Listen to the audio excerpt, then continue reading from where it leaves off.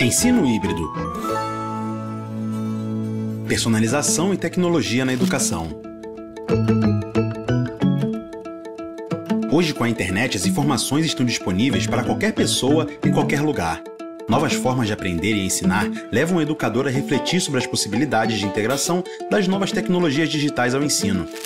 Mas só as tecnologias não são suficientes para que cumpram o objetivo de ampliar a conexão com os alunos e potencializar o seu aprendizado.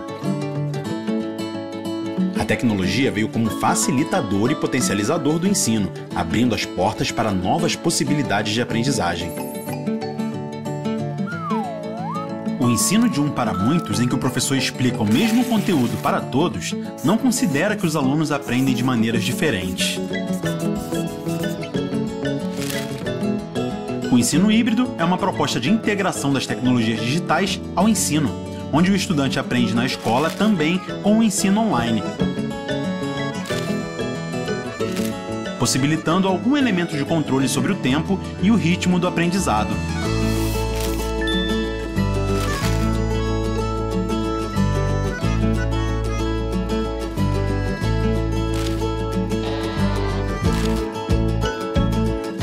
Esse modelo permite que o professor obtenha informações individualizadas sobre o desempenho dos alunos e consiga agir com maior eficiência nas necessidades de aprendizado e com maior rapidez.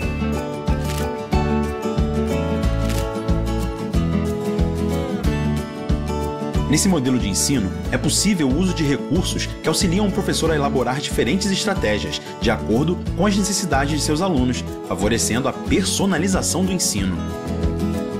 Sabemos que essa tarefa não é nada fácil. O ensino híbrido abre o horizonte para a personalização, tendo a tecnologia como aliada.